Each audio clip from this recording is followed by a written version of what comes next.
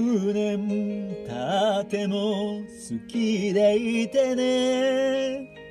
みんなの前で困らせたり。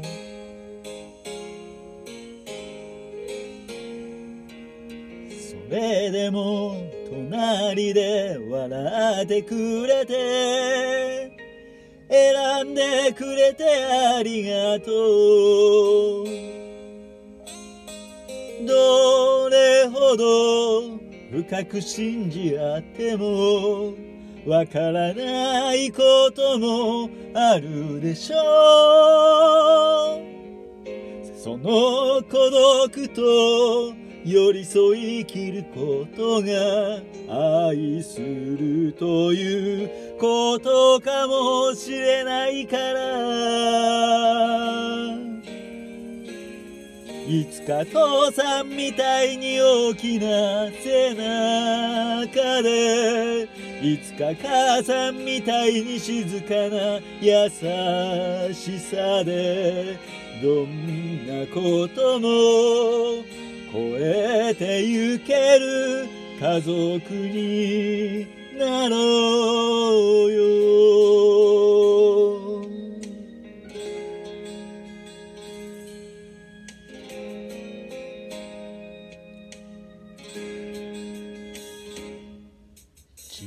さな頃は体が弱くてすぐに泣いて甘えてたの。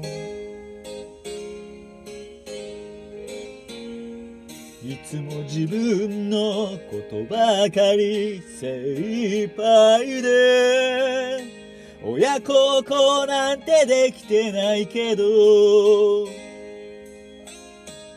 明日の私はそれほど変われないとしても一歩ずつ与えられる人から与える人へ変わってゆけたならいつかじいちゃんみたいに無口な強さでいつかばあちゃんみたいに可愛い笑顔で。あなたとなら生きてゆける。そんな二人になろう。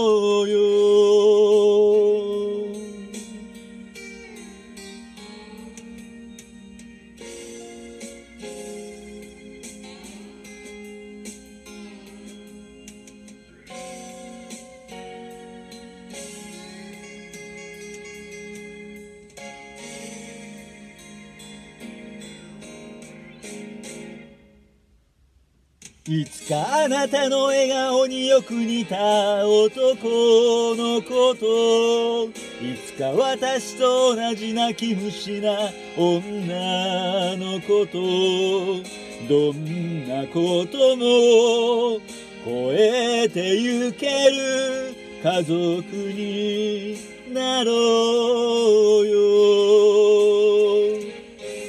あなたとなら生きてゆける。